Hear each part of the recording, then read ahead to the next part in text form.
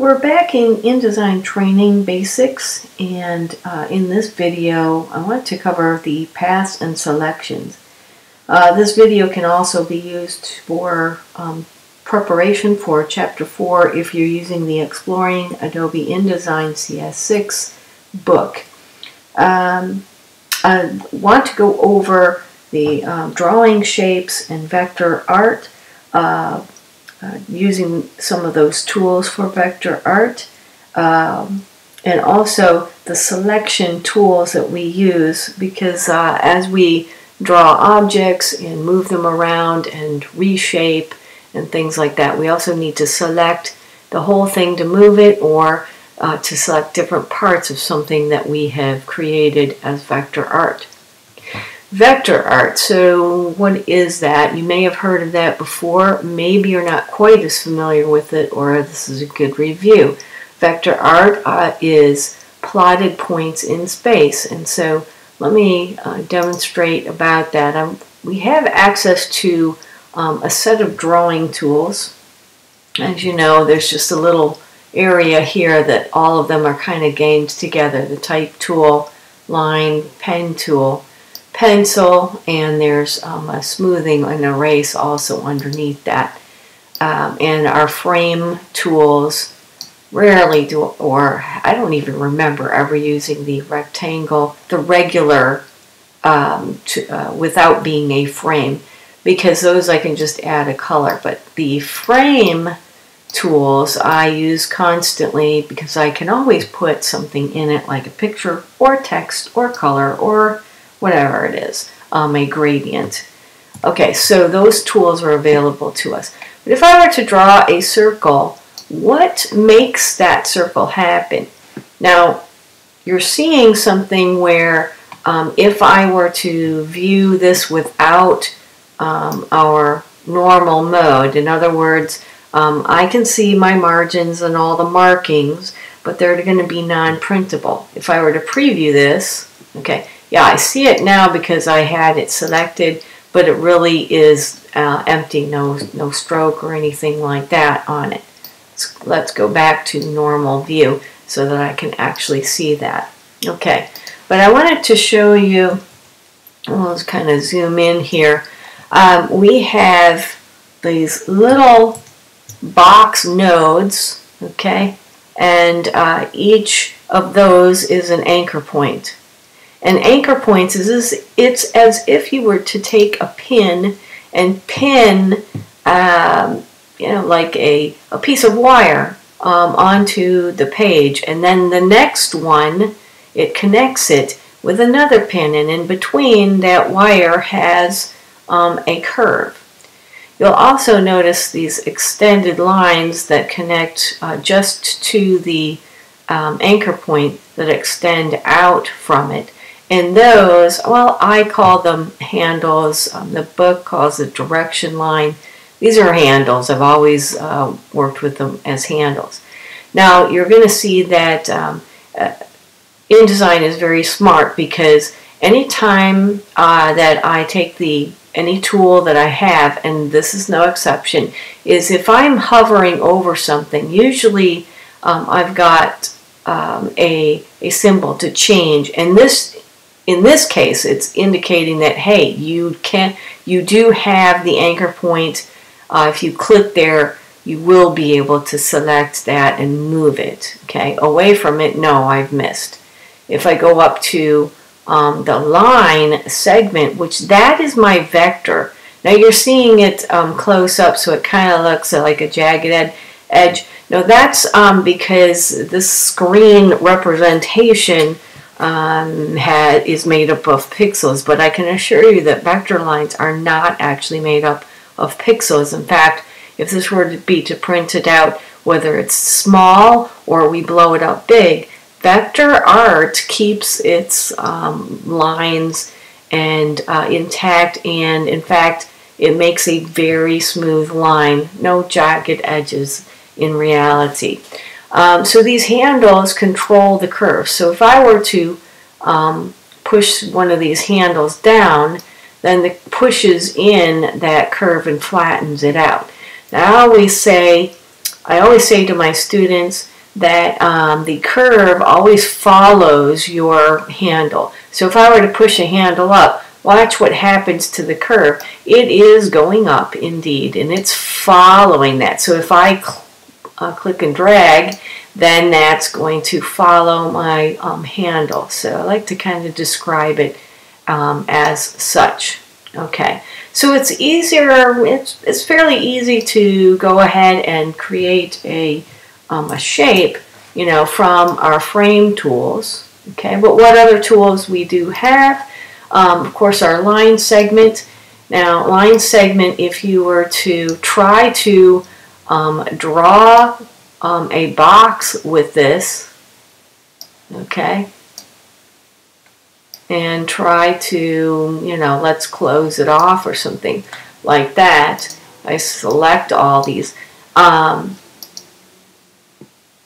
I hold my shift key down, I can probably grab a hold of. Okay, so this is not really a closed shape, so I cannot fill it with any color whatsoever. Okay, I'm putting a color into, inside of it. There's no way that can happen. Those are just separate uh, line segments. And a line segment only has um, two anchor points, one at one edge and one at the other edge. You can see that here as I um, change my selection tool.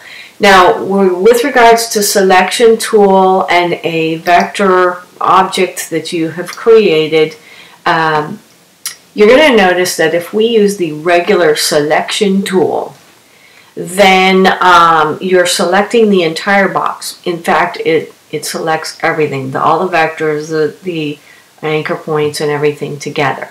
And you're going to notice this outer box. This happens um, in Illustrator as well. And if you transform something in Photoshop, same thing. This is called a bounding box, okay? And I want to zoom in on it. And there's different parts of the bounding box. Um, the outer edges, in fact, it just measures how big the, the widest and the, um, the as far as height goes, um, the highest point and the lowest point, um, and from side to side, the widest points It'll include everything uh, that you have as far as your vector line or shape, and it will have a bounding box. At the edge of the bounding box on the corners, there are four, um, squares, okay? These are, um, I call them handles. I've heard of them being called handles. I don't remember if it's in InDesign they call it handles, or if it was PageMaker a long time ago that called it handles because it did the same thing or if it was QuarkXPress. I don't remember. But I call them handles because I could grab that and move it, and then that um, changes the shape and uh, width and size or what have you of uh, my shape. And I can also do a few things um, with modifier keys to uh, distort uh, the bounding box and inside of it the vector art. So I can bring in one side or another. So each um, of these are actually called reference points, okay, in, in essence. And um, where we get that reference point, and it's helpful to us when we are doing something like placement of um, our object, uh, then we can go up to the um, control panel. Now I've got this selected and I want you to um, see this. We're going to go up to the top left hand corner with the selection tool having selected um, our object. You're going to see um, a reference point, the bounding box, just like we have on our shape.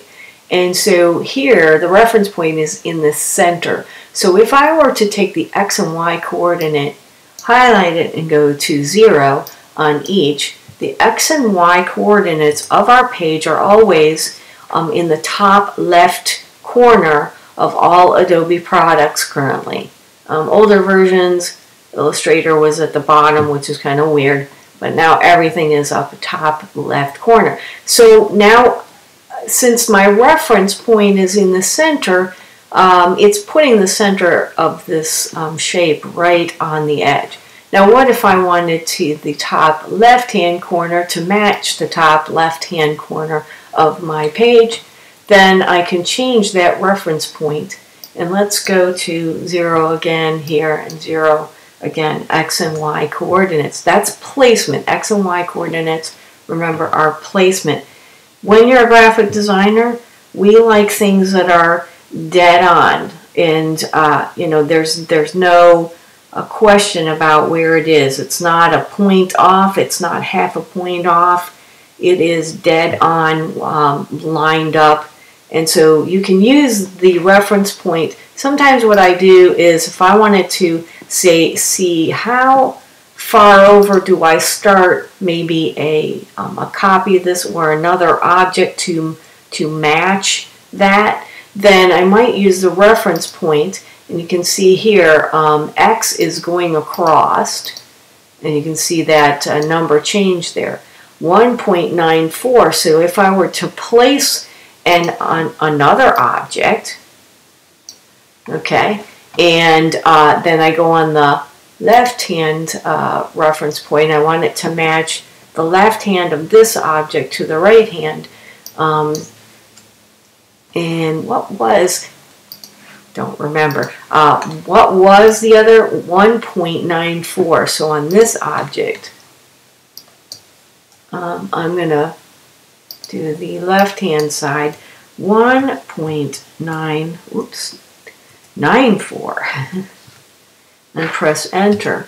Okay, and I want you to see, all right, that those two are actually touching each other perfectly. I mean, there's it's dead on. So using a numbers um, coordinate system for page layout, this is ideal for you. Okay, so if you wanted to learn uh, more about vector art um, and drawing with the pen tool, you can visit another one of my um, tutorials. I actually have one in Fireworks um, as well, visiting the uh, basics of using the 10 uh, the pen tool.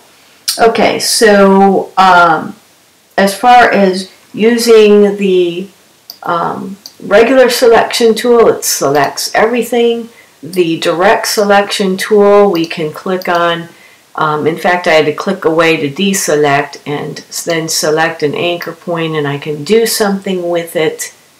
Okay, and in um, InDesign, these if we use the pen tool or the okay frame tools um, any of those now I can make any kind of shape and this might be unusual to you but I might be able to put, use that I can use that to put an image and even text inside of it okay? Colorize it any way I want. Alright that's it about um, a little bit about uh, vector art and using the selection tools in InDesign